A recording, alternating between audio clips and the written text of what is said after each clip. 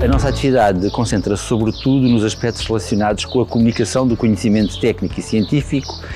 no seu suporte verbal ou não verbal, até multimodal, ou seja, a forma como se transmite, se constrói em discurso ou em, em, em discurso imagético ou outro tipo de discurso, a produção do conhecimento que é feito, por exemplo, na universidade. Estamos a desenvolver um, um, um enquadramento epistemológico que relaciona zonas de interface da área da linguística, da comunicação, da comunicação de culturas e da produção e, e, do, e da transmissão do conhecimento científico. Portanto, o grande impacto é a criação de espaços de investigação e de objetos de investigação até aqui trabalhados em separado e que nós tentamos agrupar, que vão desde a produção da ciência até à, à teorização linguística e até ao multilinguismo e a forma como se transpõe o conhecimento em diferentes línguas e para diferentes públicos.